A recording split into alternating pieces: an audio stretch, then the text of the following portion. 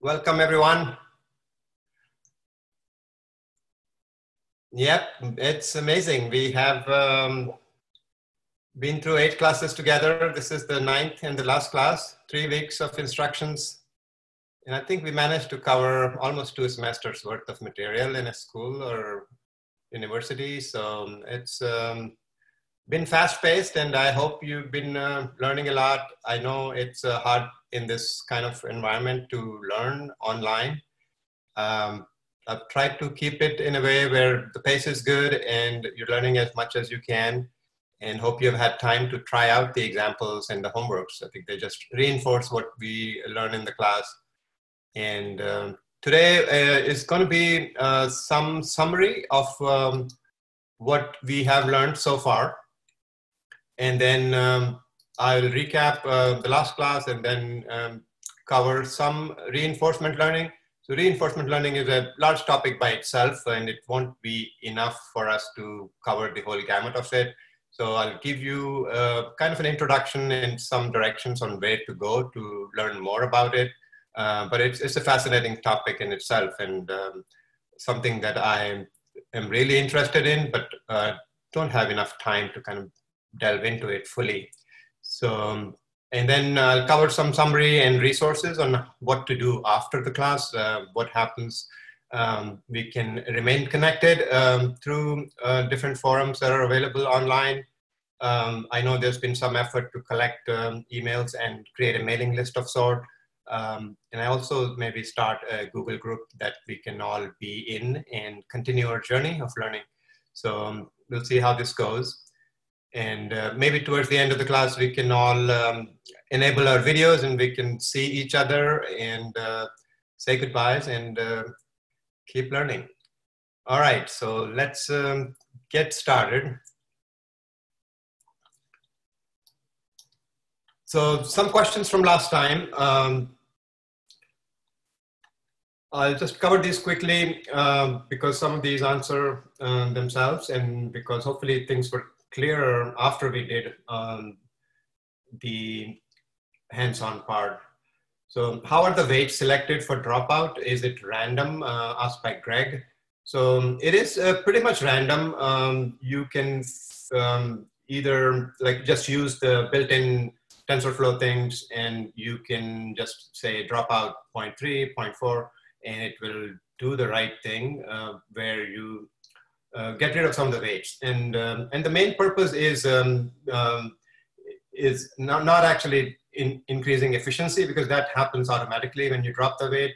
But the idea is to um, not learn the network too much, which is like to try to avoid the overtraining. So that is the main purpose of the dropout.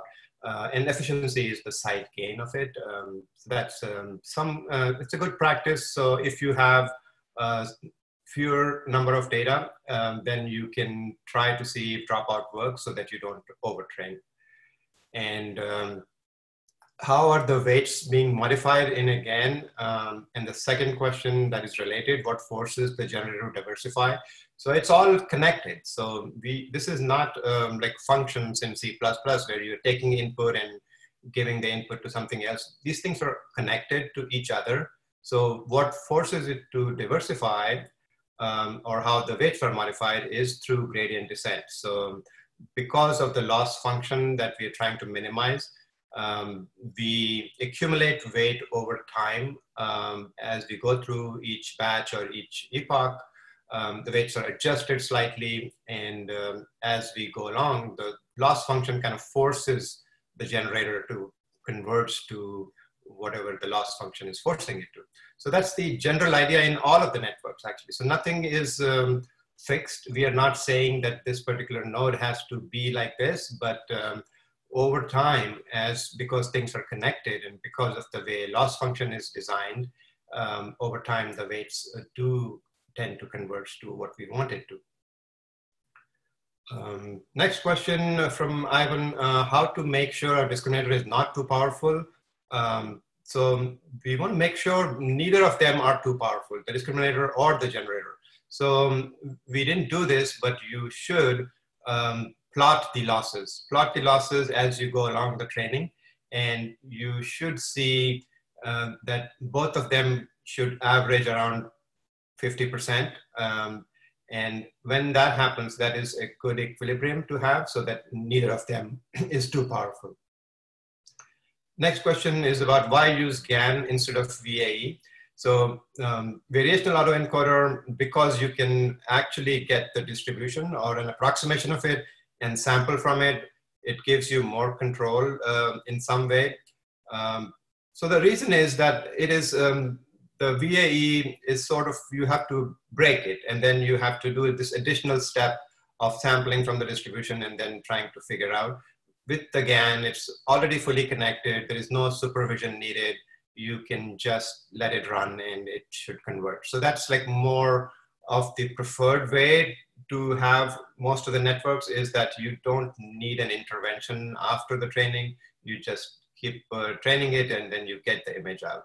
So that's, that's the attractiveness of the GAN is that um, it, um, it's fully formed and then you don't need to do anything else. Um, next question is about can you generate 3D objects? So 3D um, objects are hard because the space, um, you add one more dimension and your space increases dramatically. So the kinds of things you can do um, with the neural network, the representation of 3D objects in a matrix form becomes harder. There have been attempts um, more recently about how to uh, better represent 3D objects as uh, matrices and how we can feed them. And uh, still an ongoing topic of research. Um, there have been attempts um, in a different way where you can approximate a 3D object from a photograph. And that has seen a lot of progress. Um, and just a recent paper where it can generate a full 3D object from uh, images, and that's pretty popular now, and um, I think that you'll see more of that in the future. Uh, another question about RNN, uh, are they useful for generating videos? Um, yes, definitely. So RNNs can be used to generate videos. Anything that is time dependent, you can use um, uh, some kind of an RNN, uh, not a basic RNN. I think they have a little bit lost favor in favor of um, the gated R, um, the gated uh, recurrent unit that we had.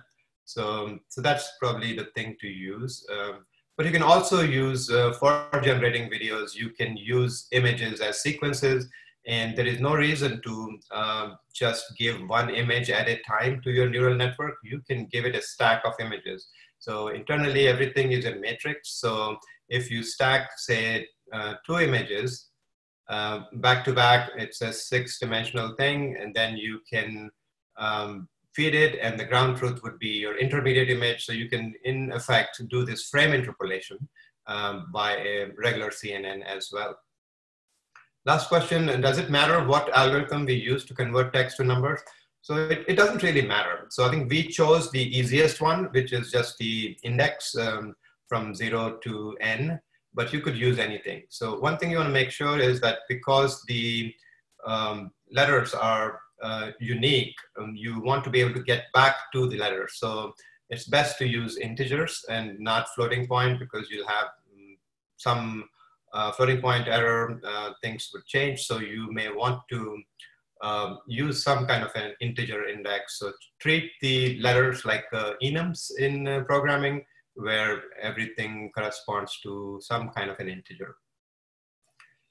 All right, so that was the questions and uh, we'll go over and uh, uh, look at other questions if they come in. So just to recap what the RNNs were from last time, um, it is um, something that is useful for time-dependent data. And we saw uh, an example where we tried to predict what a Shakespearean style would be. And uh, it did pretty well. It uh, started from gibberish and um, started making some Shakespeare-like or from that particular play, it started making some sense. And if you had trained it for longer, uh, it would probably start generating uh, something that looks like Shakespeare. It wouldn't be as good probably, but uh, still pretty nice to be able to do that. So um, it's um, very popular to use these in all kinds of like um, something like um, Siri, or Google Translate, all of these use some kind of a recurrent neural network. And we went over what these look like and um, uh, we unroll this and when we specify in TensorFlow a number of recurrent units. So when we say 256 um, or 1024 in our case, this gets unrolled into that many units. So that's this is the number of units it will get unrolled into internally.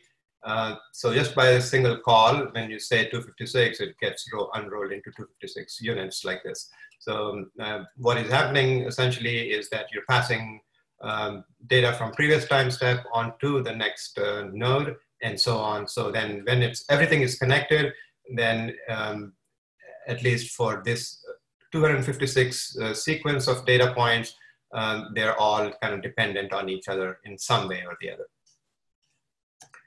So today we are going to cover uh, something called uh, reinforcement learning and you may have heard about it or um, seen examples of it. Um, so it's a field um, related to uh, neural networks, but only tangentially. Uh, the idea is that you have an environment and um, you, uh, in your environment, there are a bunch of states and you perform an action. Um, there are a set of possible actions that you could take in the environment and um, you get a reward for each action. And the goal is to maximize the total reward. So in this example, uh, the maze is your environment.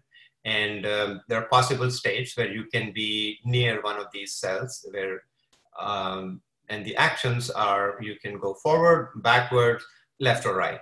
And um, after you take each of those actions, you may be given some reward. So when you are in a state, say in time t, the agent um, is given an option to choose one of the actions.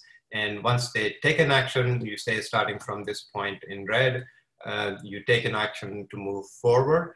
You may be given a reward, um, say a positive reward for moving this way, maybe a negative reward for moving backwards. So um, then um, you repeat and try to take successive actions. And um, at uh, each state, uh, you, when you take an action, you get a reward and you move on to the next state and so on and so forth. So you repeat it uh, millions of times and um, the goal is to collect these rewards and maximize the total reward. So that's the uh, setup um, in a reinforcement learning um, uh, environment. So everybody clear on what reinforcement learning does? So, so this is a simple example, but all reinforcement learning uh, is set up in this way. So let's uh, take a little bit of a deeper look on what things are. Um, so um, essentially you have to um, set up actions and states. So in simple environment like this, it's easy to tell what the actions are, possible actions, and what the states are. In a complex environment, it may be a little bit hard because there may be too many influences in the environment. If you take a complicated game, um, then the number of possible actions are too many. And that's one of the challenges is how to keep that action list small enough, uh, but you can still specify a full environment. And the number of states that you can be in after taking an action, that can also grow. So, um, so that's one of the challenges of like setting up an environment like this. And another one is to how to set up a model. So this uh, has to be mathematically expressed somehow, the environment, like what happens when you take a step, uh, where do you end up? Uh, so that has to be modeled in somehow. And that's another part that is challenging for a complex environment. So, so we said that uh, we get a reward for each step, but uh, our goal is to maximize total reward. So, so we need a policy of um, how do we take an action or which action do we take uh, at each step uh, when presented with the list of possible actions. So that's called a policy. And the policy should maximize not the immediate next step reward, but it should be able to uh, maximize overall reward. So that the how you do that um, is uh, something called a value function. So I want to differentiate between reward and value. So reward is the immediate reward of taking the next action, and value function is um, uh, something that kind of represents an overall total reward. A good um, representation of that is um, maybe an average of an ongoing average of the total reward. So um, that um, is a good representation of value. So Uh, so now we have uh, more idea about like how to set up the environment and what these things are. Um, another thing to um, just to reiterate that all this comes from uh, how humans learn. If you look at uh, a baby learning to walk, and um, there is some inherent um, value in having a baby uh, learn to walk despite all the challenges, despite falling hundreds and thousands of times in that learning process. So the immediate reward is not um, maybe positive, but maybe there is some inherent value in learning in learning to be able to walk. And in fact, um, the genetic setup is so uh, rewarding of that overall value that uh, it trumps all these small little pains and aches that baby gets and the possibility of falling. So, so just to differentiate between value and reward again, um, the overall value may be uh, of something that you don't realize. It's similar to like when you are, say, have an exercise regime and um, day to day you may think of it as a painful process maybe and you don't want to. Maybe the good reward is to sit on the couch and watch tv but if you look at the value that you would get from exercising daily to your overall health, you can overcome that initial uh, resistance and then uh, maybe exercise and you get an overall value from the exercise. So, so that's how things are set up. It's trying to mimic a, a real life learning process. It's a very powerful technique, uh, simply expressed, but very hard to set up.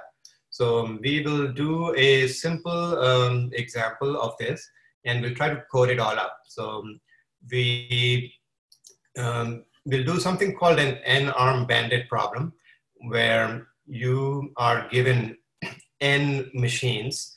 Um, we will use n uh, 10, basically uh, 10 machines.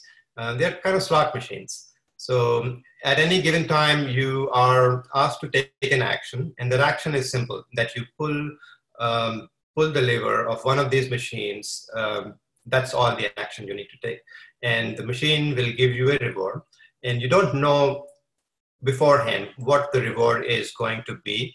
So then you're trying to maximize your reward by choosing which machine to pull next. So, and then you can do multiple trials of this experiment. And each machine um, has a fixed reward, but that is not known to you. So, so that's the main dilemma. It's like, I don't know what this machine is going to give me, but I still want to maximize my play across all these machines. And uh, all you know is that machine has a fixed reward, fixed in the sense it may be up and down, but it's uh, averages to some amount. So that's that's the setup for uh, this kind of problem. And it's a classic problem. It's very useful to understand how um, reinforcement learning works. So we'll start from this uh, basic example. So um, here's the setup. So we're given 10 choices for action and each action has a fixed reward that is unknown to us. Fixed in the sense that the reward varies from uh, action to action, but um, uh, it's fixed around a mean. So um, each machine has a mean fixed reward. And our goal is to maximize total reward over the number of actions. So looking at it more graphically, and this is the setup. so you got these 10 machines, and um, these are, um, each have a reward, and I put the mean value of the reward in numbers. And just to uh, kind of emphasize that these rewards are averages, uh, what the machine will give you, which means they are actually distributed around that average. So, sorry, the first machine uh, has an award of 80, uh, but at any given time, when you pull deliver, you may get 80, you may get uh, zero, uh, you may get 100 or 200, even if you, uh, it's possible. So, but on average, you will get something around 80. So similarly, all the other machines are configured in some way like that. So now you are um, given this choice. What do you do? You don't know anything about these numbers. So um, once you go in, um, the first choice is obviously you don't know anything. You are going to take a random choice, guess, and just pull one machine. So let's say we choose this one. You pull it and you get, say, 95. And what is your next action? So um, we don't know that. What to do in this case, um, maybe um, because we don't know any better, we can choose another machine at random. So then you would get 40. And um, then you say, oh no, the last one was better. Let me go back to the last machine.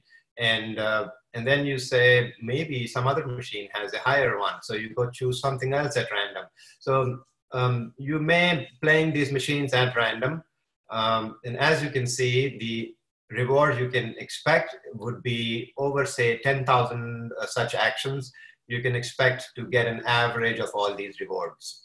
Um, and that is um, that is the naive strategy, right? So um, that's what it would be. Um, we are uh, picking random um, machines at um, every turn, and what would happen is you'll get an average reward over all action. So this is how most people go to Vegas and play slots. It's like just pull at random average, you get an average return. Um, but the machines are set up differently. There is no fixed reward, and in fact, you lose money most of the time. But in this, our hypothetical setup, uh, a, a, random strategy would give you an average reward. So um, how do we code this up? And um, let's uh, try to do that. And um, open this file if you have access to it. I have uploaded all the files, so it should be there. And let's take a look at that. So um, this is not going to use any TensorFlow or anything. It's just imported here, but um, we're going to use pure Python and NumPy to do this. Um, so first thing to do is set up our scenario. So what I'm going to do is um, take um, 10 samples from a random distribution. Uh, this will set up our reward setup. And um, then we will um, also create some kind of a probability or standard deviation setup for uh, these uh, rewards. So what I've done here is set up this rewards table. So I got this um, mean rewards all randomly chosen for each of the machines.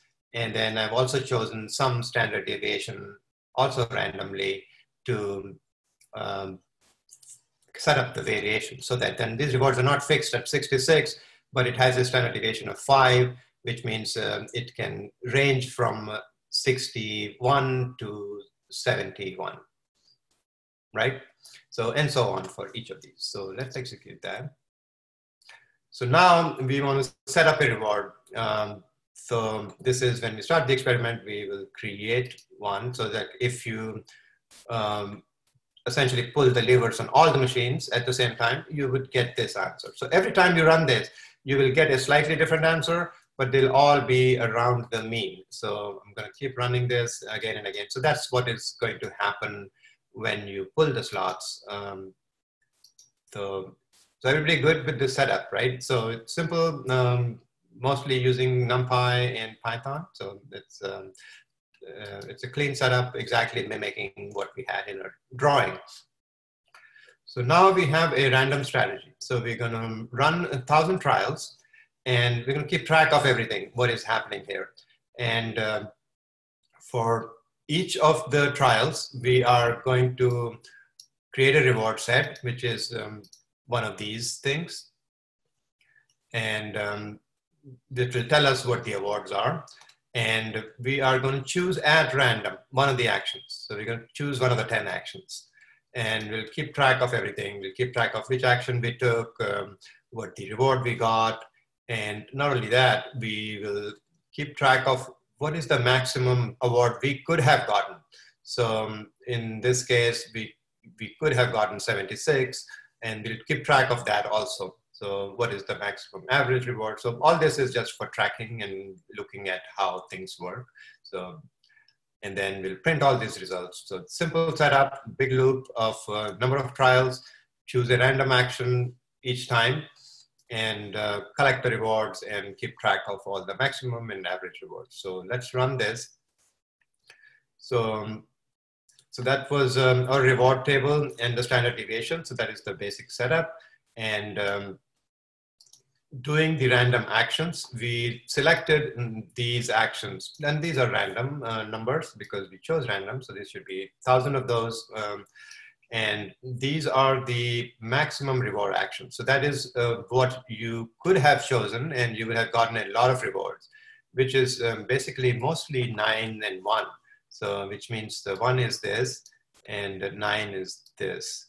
So um, we should have ideally chosen one of these two slots, but no, we chose at random and we got those rewards. So, so random average over time is something we were keeping track of. So we would kind of slowly go down to the average of all the slots and the maximal would be kind of increasing slowly towards the maximum possible reward.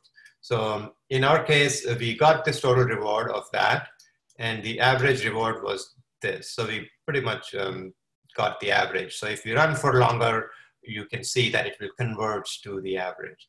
And the maximum possible reward was um, uh, pretty high. We almost got like half of it. So it's not an optimal strategy. It is a strategy when you don't know anything, you just choose randomly.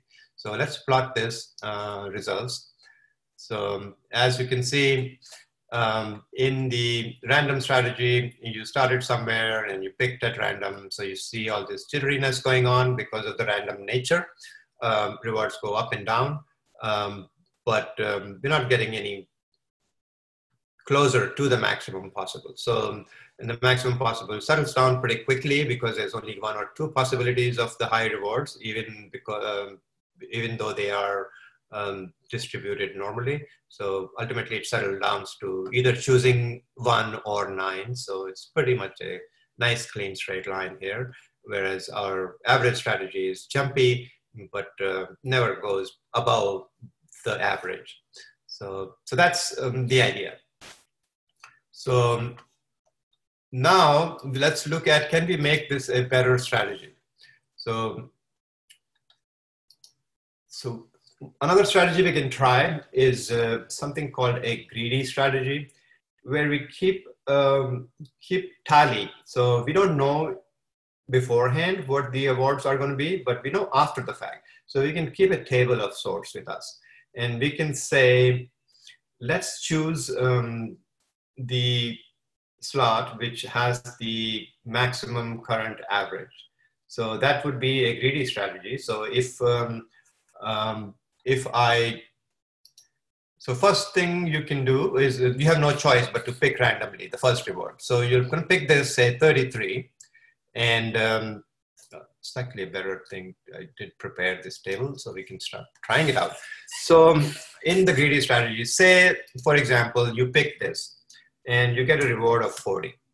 And next time, so we'll keep a running track of all the averages. So average for this particular slot is zero, zero, zero, right?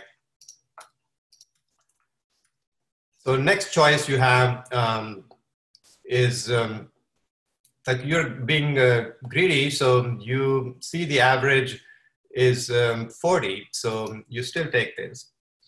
Uh, this is the one with the highest average, so you take this again and you may get like, um, say 10 this time. So 10 plus 40 is 30 and average is now 15. And um, so you keep track of all the averages. So, so this was, um, you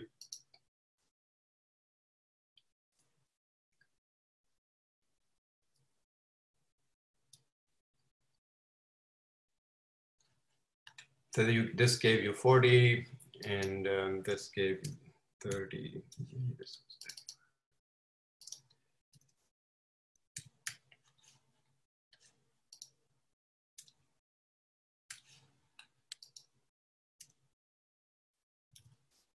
This is an out, outlier event, so this got you zero,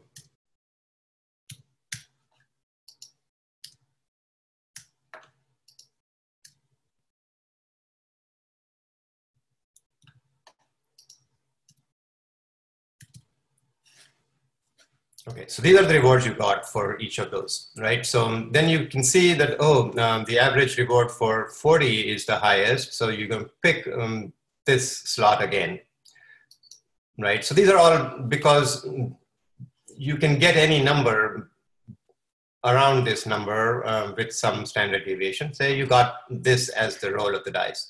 And so now you're going to say, hey, uh, uh, this is my maximum. I'm going to choose this slot again.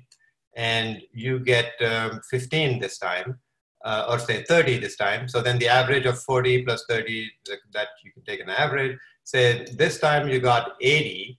So 80 plus 30 is 120. You got 60 as an average. Say for this slot, you got 10 now, and 10 plus 6 is 16. The average is 8 and say for this one, you got uh, 30 again, 30 plus 30 is 30, average 30. This one, say you got uh, 100 now. So 100 plus 112, um, and uh, that's uh, 55. So 56 is the average.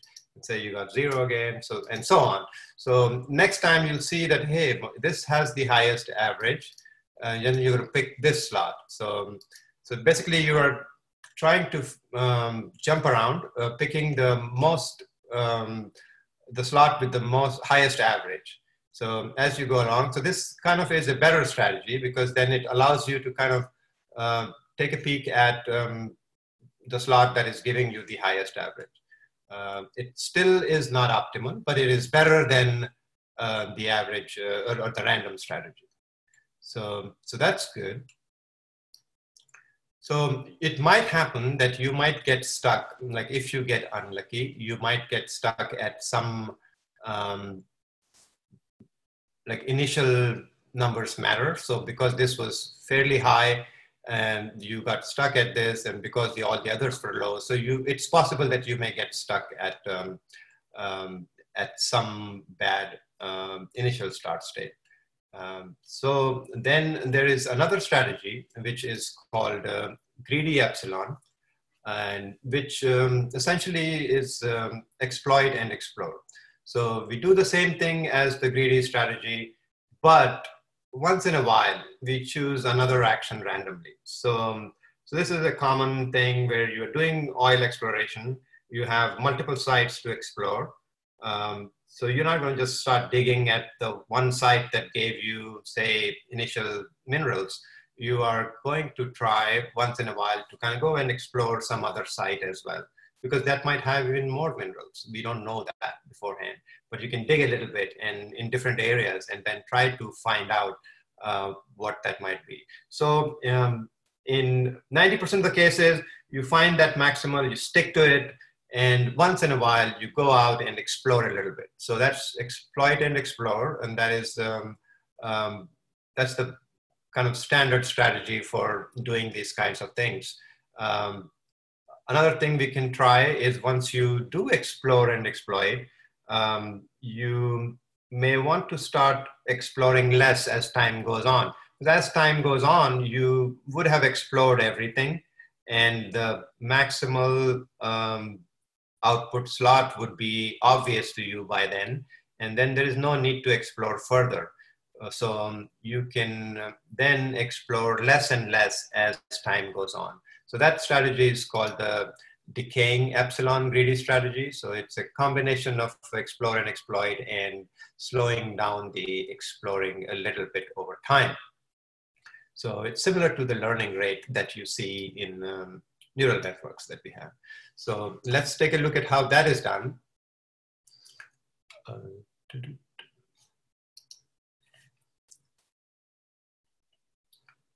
so we're going to implement the epsilon greedy strategy here. Um, it's the same kind of setup, um, except now we are going to keep track of, um, of the average reward that every action has. Uh, in this uh, table, something called a Q table.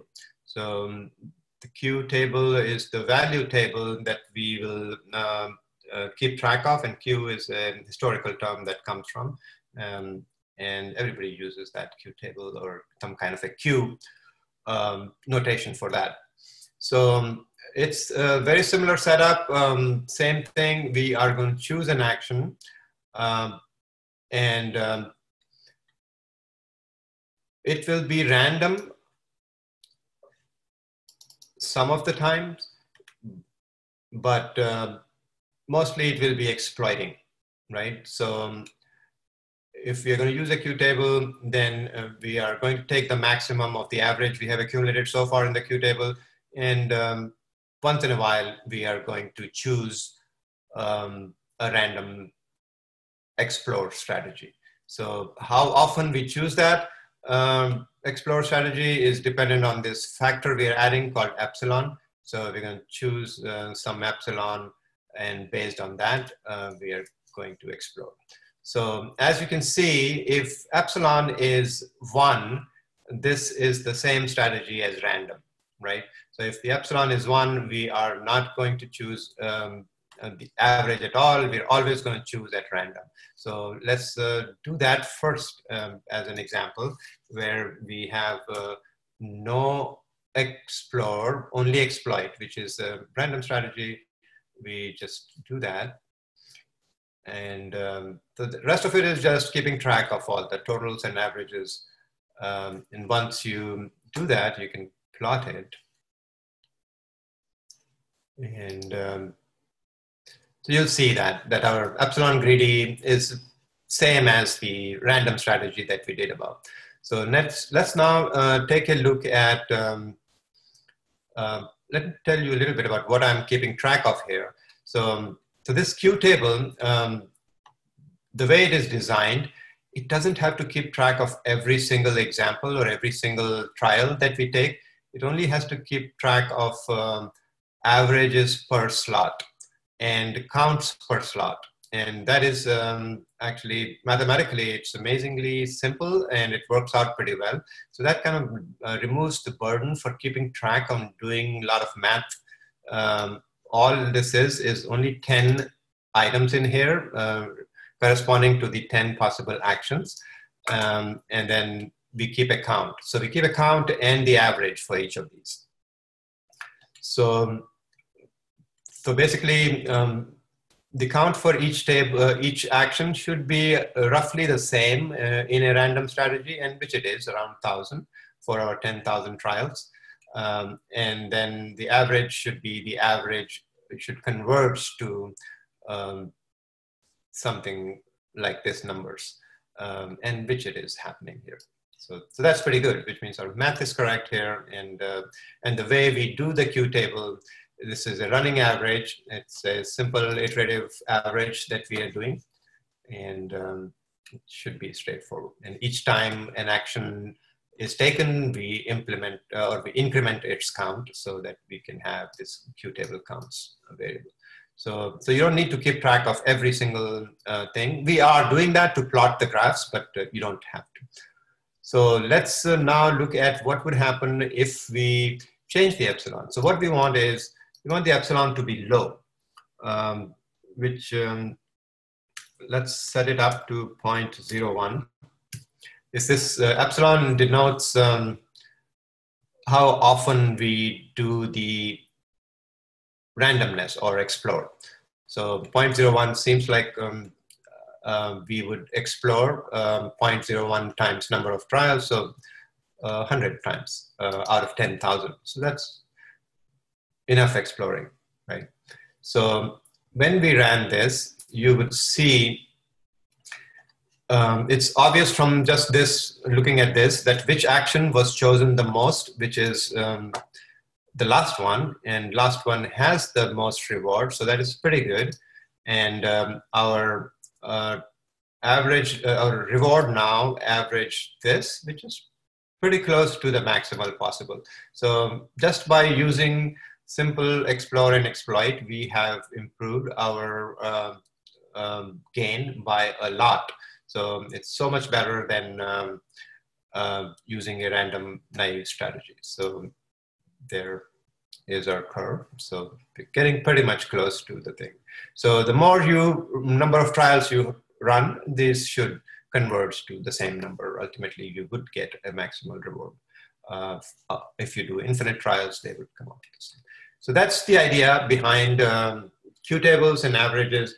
And um, reinforcement learning. So all reinforcement learning should follow a similar process. So we did ad hoc uh, our policy of how to choose. We uh, came up with this explore and exploit and we implemented it um, in a random manner like we did, but we don't know a priori what kind of policy to use. So, so that is the challenge of um, uh, of a reinforcement learning setup is like how do we decide? And um, recent advances have um, used neural networks to be able to predict the policy. If we can give it the entire state, we can give it um, what possible actions we have to take. Maybe we can have a neural network predict that. And uh, so that's, uh, that's the idea behind uh, reinforcement learning. Let's see if we have some questions.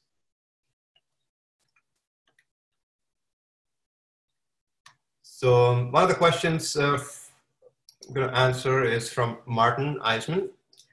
Uh, couldn't we use strategies like Markov chain or Monte Carlo or Metropolis uh, light transport sampling strategies to select the uh, arm bandit? So that's a good insight, actually. It's a great question. So in fact, what we are doing here is a form of a Markov chain implementation uh, because we are sampling from this distribution. And uh, this is exactly what happens in uh, uh ray tracing when you uh, do the sampling uh, for lights, um, importance samplings or other kinds of things. And it is exactly the same thing. So it, it is a version of a Markov chain like setup. So it's a good question, great insight.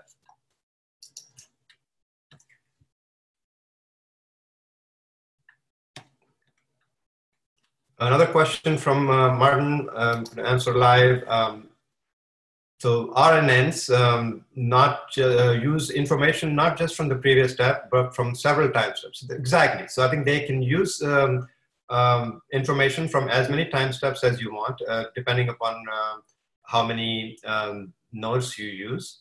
So you can get that coherence because for things like sentences and text, um, the context can actually be fairly large. Like when somebody says a word, it would mean different things in different contexts. So you may have to go back in the sentence or the paragraph to actually discern the meaning, whether something is being said is what is being meant.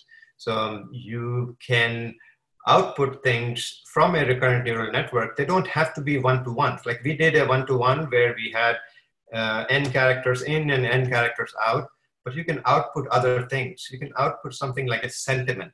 So if you have enough training data, you can say that I am summarizing this paragraph and I think this paragraph is uh, positive or representing negative views. So your output is only like say two classes, positive or negative, for example, and you're trying to analyze the sentiment in a whole paragraph. And in that case, you have this entire context that you would feed through your RNN and try to discover context and meaning of different words and sentences placed together over multiple paragraphs. So, so you may have a lot of uh, interdependence between uh, different things. So uh, things like uh, people have done this very successfully. You can take um, um Rotten Tomato reviews um, and uh, select them all, whether they're positive or negative, and um, you can classify them. You can say, hey, um, this is a review somebody posted. Uh, is this positive or negative? So you can get a thumbs up or thumbs down. So that's uh, something that is pretty common and um, uh, fun application of RNN.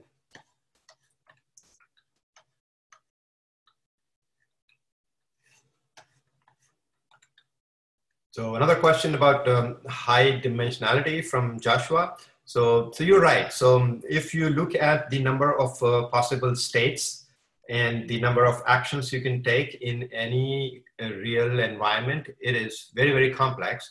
Um, it's um, in our case, um, the possible action was to pull the lever and that is all we had to do. And that is fairly small. But imagine if you are playing um, game of um, Space Invaders. So in Space Invaders, you got to move the lever uh, left or right, and you have also have a choice to shoot. And um, so that's uh, three possible actions. And um, it, it's a fairly simple game with the three possible actions, and each state is uh, how the game reacts to your actions. So you can take that as input and try to uh, predict what next action you should take and and that um, is slightly more complex. And then as you go into like say walking then how do you model that? Um, what makes uh, people walk? What are the joints um, active? Um, because we don't do these things consciously. A lot of things are happening behind the intent of walking and placing of the legs and then the signals being uh, sent to the brain uh, and the nerves. How are all these things happening? It's hard to model that possible number of states and possible number of actions they can multiply and uh, that gives you um, um, like a lot of issues if you try to solve it manually. And people have tried that. People have tried to kind of model how humans walk in a more um, kind of a policy like way but it's hard because we fail to take into account all the possible small things that can go wrong. And we know that if we can just feed the data to the neural network it can tell us what action to take next. It may still not be able to tell what is happening inside the brain and the muscles, but it will at least, mm, it's very good at telling us what to do next. So, so that's the uh, application of neural networks to kind of help us find the next possible actions. Excellent question. So um, you guys are paying attention, so that's good. Go back to our lecture. So that's uh, probably mostly what I want to cover about this. Um, um, we had the idea, like what um, Joshua was mentioning, we can use a, a, neural network to find out and learn Q, which is our policy, uh, what action to take. And uh, DQN uh, is uh, something uh, that is part of many neural network libraries now. And they, you can apply one of these things to um, to some um, of these examples. So I'll show you one example about um, walking. Um, where did it go? This is from Google. Um, they have this DeepMind um, setup where a lot of engineers and scientists are working on these things. So this is a robot learning to walk and um, it stumbles and falls but then their reward setup is such that it uh, tries to overcome all those stumbles and walks and uh, these joints are physically modeled um, in a way um, that are almost real uh, so that helps. So physical modeling the true physics based modeling in a reinforcement learning environment is important if you want to actually figure things out for uh, physical use. So this can be used to for example trained robots and you would and you can easily not easily but it's easier than modeling humans is to model robots because you know all the um, gears and uh, electronics that are set up. So you know exactly how it moves on what input. So you can train robots virtually first and then you can use the things that you learn to actually deploy them in real life. So that's a good application of reinforcement learning is to train robots to do different things so here are other examples of different kinds of uh, setups. So again, these are simple setups. These are physics-based setups that are um, done to train these creatures and objects to learn to do different things. So, but they all work on the same principle like the 10 arm bandit thing that we described. Um, so over time. So as you can see this these things take a long long time to learn. And uh, we haven't found yet um, a good way to combine learnings. Uh, can i train this halfway? And I, can i train something else halfway? And then can they both learn from each other? Uh, that is hard part. That is the research is still ongoing and that is the holy grail of reinforcement learning is to save the learning and then transfer it to something else um, and we can do it for very similar things, but it's hard for us to, in general, transfer the learning from one to the other. So humans, on the other hand, we can keep our training alive for a long time, and we can learn by looking at others, by doing things. So that's truly possible. So, but this is a good step towards um, making things learn. And one example of the virtual environment like this is we can do these experiments and let them run for days and weeks. So it's not like a baby trying to learn in seven months. We can try to do this pretty quickly um, if we let it run for a while on the computers. All right, so that's one example. So um, I'm going to show you a little bit of um, how to set up uh, more complex examples, but I am not going to go through the process of actually doing it because it will take a while and it will introduce several new concepts that um, we don't have the machinery for yet. So um, a lot of the setups come from something called OpenAI. OpenAI is a different organization. It's a non-profit organization that is uh, at the forefront of um, reinforcement learning, and they have made available something called a gym. Uh, a gym is essentially a setup for an environment, and they have different environments set up that you can um, invoke by using this. And um, we are bringing that environment inside of uh, this Colab.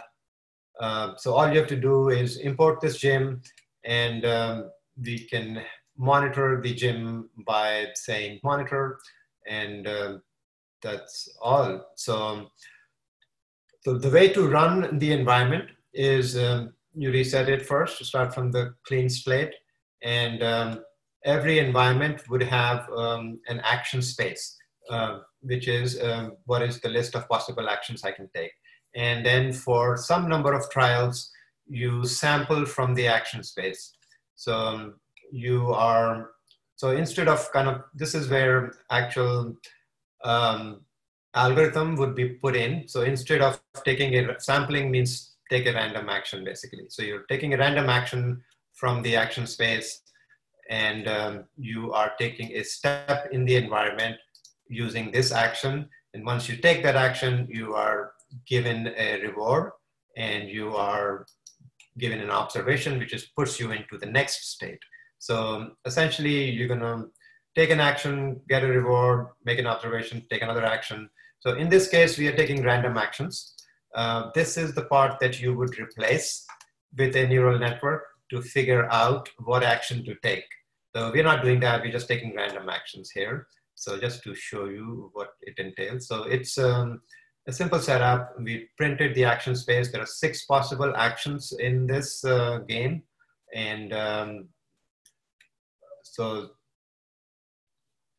and then once you do the thousand actions, we can, um, we have saved the observation. So out of each observation, we can get a frame of the video and uh, save that out. So um, all these results went into this and we are going to make a movie out of it and play that movie. So um, essentially each of the state is a, and this um, gun at the lower uh, part is moving randomly. So um, because we are taking random actions and shooting randomly. So um, that's, uh, so it's gonna die quickly, but that's the setup. So then the goal is to um, fill in this, which action to take. Instead of a random action, you would put in a neural network uh, uh, with the state and the space, and each observation goes back into the neural network as well. And you would train it, get the action until this action that it takes is um, becomes um, good enough so that your reward is maximized over the long run. So, so that's the goal um, of setting this up in uh, this way. Right. So that's um, all I wanted to cover about um, uh, reinforcement learning. So I know you would have questions because you want to try these things out, and it's pretty remarkable that we can learn these complex things. Um, and we are learning it in an image-based way. So this is not a physical setup. So we are sending images, getting back images. So, so this is perfectly suited for something like a CNN. We are not using the gameplay code or mechanics and how things are set up. All we're saying sending is images, images, images, one after the other of a sample run of the game. All right, so this is um, again from uh, DeepMind from Google. So this is again nothing too fancy here. It's just learned to play and it's playing automatically. It's getting a fairly high score. And uh, I think they have trained it to an expert player level, and it is possible to even better that. You will have seen other examples like AlphaGo, which is now able to beat the top players in the Go game. Uh, it is also trained using uh, reinforcement learning.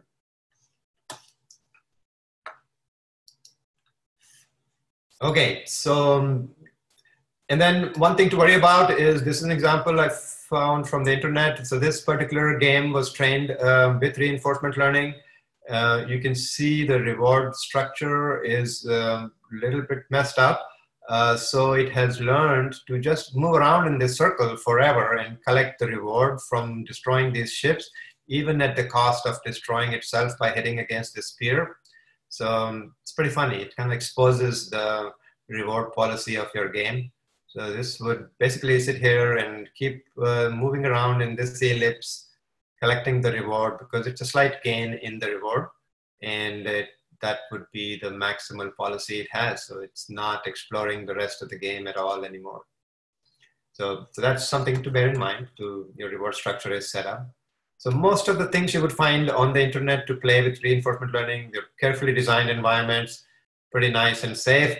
Uh, but if you were to design your own environment, it's, it's a big task and a hard job. So keep in mind what the reward policy should be. Okay, so now we're coming to an end. Um, summarize quickly what is um, we covered uh, throughout the nine uh, set of uh, lectures. Um, we covered a lot of stuff and um, I want to leave this summary in the slide deck so you can keep that with you.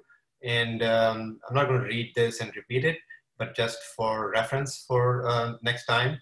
There are a lot of things um, to uh, think about uh, as a practical matter, what to do, how to set up things. L2 is the least square loss and L1 is the mean average error. Um, different kinds of hyperparameters to tune, what to do with plotting, and uh, uh, the efficient data system for TensorFlow. Uh, remember things about distribution that you're always trying to find a sample from the distribution. And above all, work like a scientist. Make an hypothesis, do the experiment, observe it, record it, change things, and repeat. So um, you don't want to start changing things ad hoc just in the hopes of getting a good result. If you get a good result the first time, which only means that you got lucky. Um, you uh, will learn from uh, successful experiments, but you learn more from failed experiments. So when things don't work is when you try to fix them and learn more. So um, uh, do very methodical changes, like try to figure out like why am I changing this and what effect it might have. Try to predict that first, uh, and then experiment it and observe it so work like a scientist, be very thorough and keep a record of all the things, make the graphs of your losses, uh, keep a track of um, how things are going with validation. So, so all those things, you want to keep that in mind as a practical matter. And um, a lot of things we did not cover. Um, main thing um, we could have covered, but we didn't have time for is um, something uh, about the cloud-based learning uh, and training and deployment. And um, um, I think it's become popular because it's easy to set up. In fact, we are in the cloud in this Colab environment, but it's not the traditional cloud environment where you connect to online databases, upload your data, and then you start up um, a session um, with the machines that you need and connect your model to the database that you uploaded your data to and do the training and then so that's the training part. And then you deploy also via the web through the cloud using some kubernetes or some other way where you are not like um, asking people to run a program but you're asking them to query something online through the cloud by sending in an example and you get the result back. So it's there in the cloud running with multiple instances of your deployment. So all those things uh, are important in a big practical setup. So um, that is something you can learn. It, it's basically worth the class of its own. Um, we didn't talk about local environments and how to run this thing on a local machine. If you have a nice uh, 2080 Ti or some newer RTX machines, uh, can probably run all of these at um, home. Uh, we didn't talk about TensorBoard, which um, I think we should have, but um, maybe you can read up on it. So TensorBoard is part of TensorFlow, it allows you for logging of the losses and looking at some other visualization of weights. So if you get a chance, read up on this. So the reason we didn't do TensorBoard is because our environment is kind of a little bit uh, transient, things go away. So TensorBoard is a way for you to keep track of your experiments uh, forever. So if you're running locally, you can save those out and you can compare day-to-day -day runs. You can let things run for days at a time and still have TensorBoard keep track of all the logs. So read up on TensorBoard and I think it's a good, a good thing. We didn't do intermediate layer visualization. What do these weights look like? What do they mean? Uh, what um, is the right thing to see and optimize? Um, we didn't cover some of the other methods that are popular, uh, something called random forest or gradient boosting. So look up these terms, uh, see what they do, because 80% of the work that is going on in machine learning in practical deployment is uh, simple logistic regression. So uh, there are fewer neural networks than you would uh, believe because uh, neural networks get all the press, but the actual work people are doing are simple forecasting with um, uh, nonlinear regression through logistic regression. And that is what 80, 60 to 80% people are doing that as a practical matter with large databases of the data they have collected over time. So neural networks are something newer. Um, not many people are using it in actual deployment, but it's gaining more. So random forest and XGBoost are, are other methods people have used in the past, and they are pretty successful. They work very differently from neural networks. Um, worth looking at what they are then uh, what to do next? Uh, there are some resources I have put down. Um, you can uh, read the book, and this is the, the book I'm talking about. Uh, I hope you can see it. Yeah. So this is uh, one of the nicest books I uh, have read on the topic. It has everything that I covered, but in more detail, in more math and more theory. And it's freely available on this website along with lectures and slides. And there are other books on statistics and reinforcement learning and uh, some videos. So this uh, site, um, three blue, one brown, I think I found them to be very nice explanations of uh, not just uh, machine learning, but a lot of other things as well. So uh, give it a try, see what it uh, looks like. So this brings us to the end. I think what I would like us, um, first of all, I want to thank um, SIGGRAPH and uh, Emily, Laura, and Tim uh, for working behind the scenes of uh, helping us uh, connect every other day for the last three weeks. And um,